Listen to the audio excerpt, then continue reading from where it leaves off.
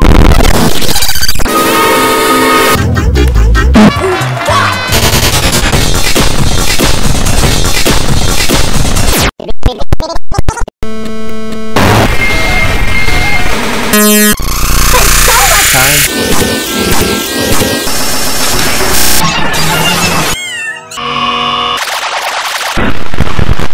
I would fuck myself!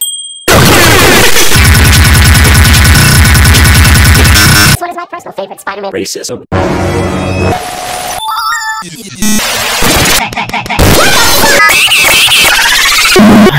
Spider-Man.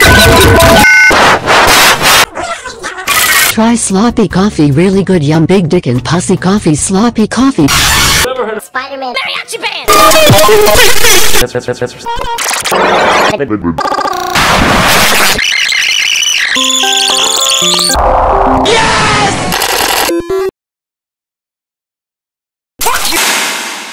That's, go find him.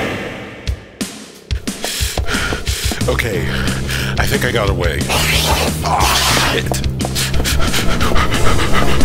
Hey, get your hands off of me! Boss! You can't do the bear. Fantastic news. I'll reward you in the future. Well, well, well. If it isn't the owners of the iTron Torque Pro business. Just who the hell are you? Call me boss. Anyways, I sent my servants over to your business and took it down, as it serves a threat to my empire. What purpose does that even serve? How could our business even threaten yours in the first place? I'll answer that. After you agree to join my empire, I can restore the power you once had, and I can make it even greater than ever before. All you need to do is accept my offer. I have no hope. I accept. I guess I accept too. Excellent. Except there's a problem.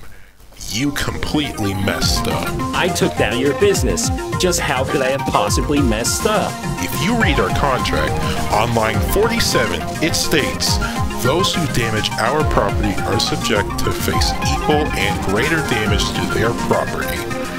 It's already on the way. Enough with your bullshit rambling. There's nothing coming to save you.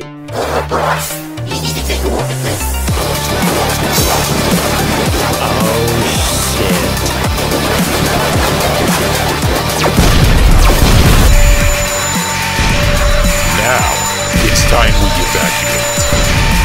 Cowards! All of you! A true business over never leave